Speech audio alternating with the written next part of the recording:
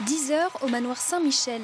Au programme de la matinée pour les coureurs du Vendée récupération de la veille. Pour l'instant, c'est tranquille, c'est de la récupération aujourd'hui. Le concours demain, c'est tranquille. On n'est pas dehors, donc on se mouille pas. Hier, il y a des coureurs de car qui sont venus rouler avec nous, donc euh, ça fait une super émulation. Et puis, bah, on est à domicile, on fait ce qu'on veut, donc euh, on aurait tort de s'en priver. Quoi. Ils sont 14 coureurs à avoir investi les locaux du team Europcar pendant plusieurs jours et ainsi bénéficier du matériel de l'équipe professionnelle.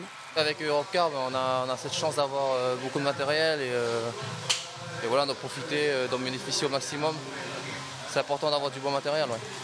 Changement de décor, place à la détente et surtout au Tour de France, une course qu'ils rêvent tous de faire un jour. J'ai toujours rêvé de faire le Tour de France et voilà, bah, le but euh, depuis que je suis tout petit, c'est de devenir pro. Et puis voilà, justement, je suis dans, je à Vendée depuis trois ans et l'objectif c'est de passer à Europcar. Donc euh, voilà, j'espère un, jour pouvoir être ici à la télé. Depuis qu'on est tout petit, on regarde le Tour de France euh, tout l'été pendant les trois semaines. Donc là de le regarder, on est, on est en groupe, donc c'est pas mal. On peut discuter des, des tactiques de course, etc. Donc c'est sympa.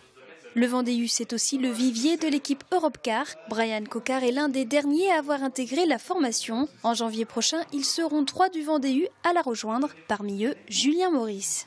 Il y a une grande marche à passer. Je serai, je serai d'abord là pour, euh, pour les copains dans un premier temps, prendre de l'expérience, et puis on verra au fur, des, au fur et à mesure des années. Euh, je découvrirai ce monde l'année prochaine, et, euh, et pourquoi pas un jour le Tour de France. Mais en attendant de participer à la grande boucle, c'est vers la prochaine course qu'on se concentre. Samedi prochain aura lieu l'avant-dernière manche de la Coupe de France, où l'équipe du Vendée est actuellement deuxième.